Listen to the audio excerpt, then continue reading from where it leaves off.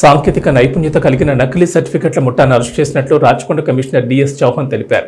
మంగళవారం తన క్యాంపు కార్యాలయంలో ఏర్పాటు చేసిన మీడియా సమావేశంలో మాట్లాడుతూ గతంలో నకిలీ సర్టిఫికెట్ల ముఠాలు దొరికాయని కానీ ఈ ముఠా నకిలీ సర్టిఫికెట్లు ఇవ్వడమే కాకుండా ఆన్లైన్లో కూడా కనబడే విధంగా చేస్తారని తెలిపారు. ఎనిమిది మంది సభ్యులు ఒక ముఠాగా ఏర్పడి వివిధ కాలేజీల్లో పాస్ కాని విద్యార్థులను వారి ఇరవై వేసుకుంటారని తెలిపారు. ఎల్బీ నగర్ ఎస్ఓటి టీం మరియు చైతన్యపురి లా అండ్ ఆర్డర్ పోలీసులు ఏడుగురు నిందితులను అరెస్ట్ చేసి వారి వద్ద నుంచి నకిలీ సర్టిఫికెట్లను ఫేక్ రబ్బర్ స్టాంపులను మొబైల్ ఫోన్లను స్వాధీనపరచుకున్నట్లు తెలిపారు. ఇన్స్టిట్యూషన్ పేరు మేము కావాలని చెప్పడం లేదు. సో కాబట్టి అది కొద్దిగా కన్సీల్ చేయబడింది. బట్ దీంట్లో ఇది ఆకుల రవి అవినాష్ అనేది ఎలియాస్ అజయ్. ఈయన మెయిన్ ఆఫెండర్ ఇంకా మన చేతిలో లేరు.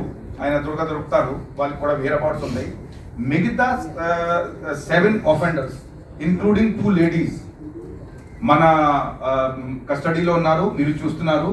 దాంట్లో ఎస్ఓటి ఇన్స్పెక్టర్ సుధాకర్ గారు చాలా కష్టపడి పనిచేశారు. సుధాకర్ ఐ అప్రిషియేట్ హిమ్ దాంట్లో ఏంటి అంటే వాళ్ళకి ఏంటంటే ఇది అక్యూజ్ నెంబర్ టూ ఎవరైతే ఉన్నారు వెంకటేశ్వర్ ఆయనది ఒకటి రెండు కాలేజెస్